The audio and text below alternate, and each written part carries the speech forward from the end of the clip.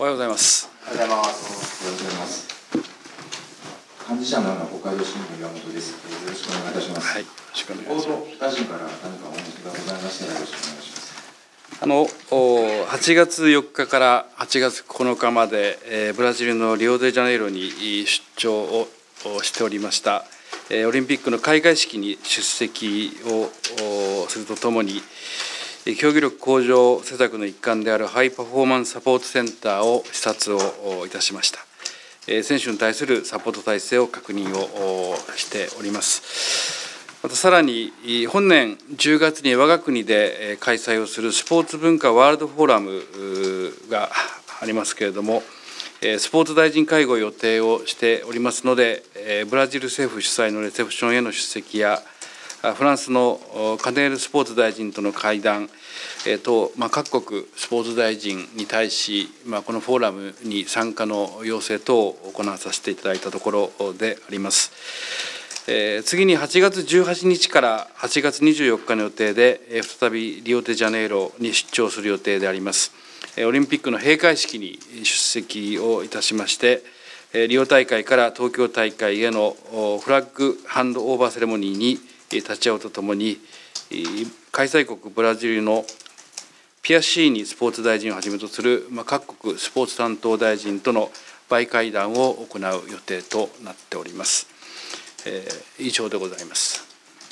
はい、ありがとうございます。であ幹事社から一問だけご質問させていただきます。えー東京都のあの小池えー知事がですね、えー次期の東京五輪を復興五輪と位置づけて、あの被災地に積極的に足を運ぶ考えだとおっしゃっているんですけれども、大臣もこのお考えに同調されて、えー被災地を訪問なさるご予定等ございますでしょうか？えーあまず冒頭お本日ですね武道館で、えー全国選抜設立しございますんで、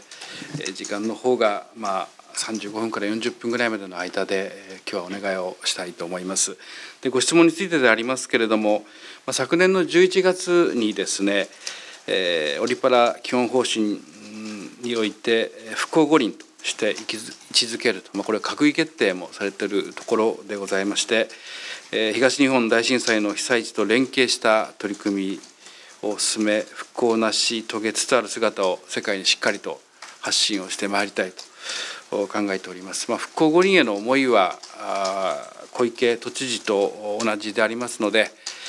えー、丸川オリパラ担当大臣とも連携してですね、えー東京大会が被災地の復興の後押しになるようにしっかりと取り組んでまいりたいと考えております。以上です。はい、ありがとうございます。さんどうぞ。どうぞ。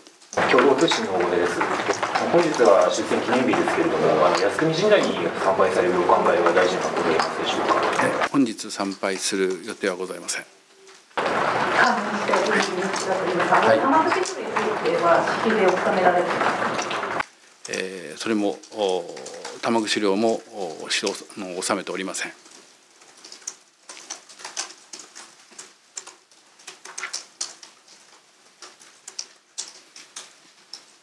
他にございますか。どうぞ。先質問先ほど本日参拝する予定はないとおっしゃいましたけれども、まあ、今後、えー、8月中、東京に参ご参拝する予定もないということでよろしいでしょうか。ございません。い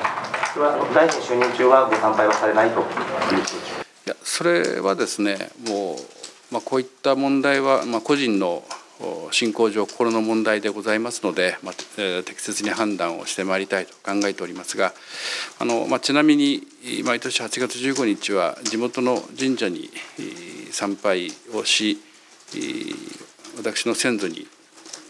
昇降するということで過ごしております。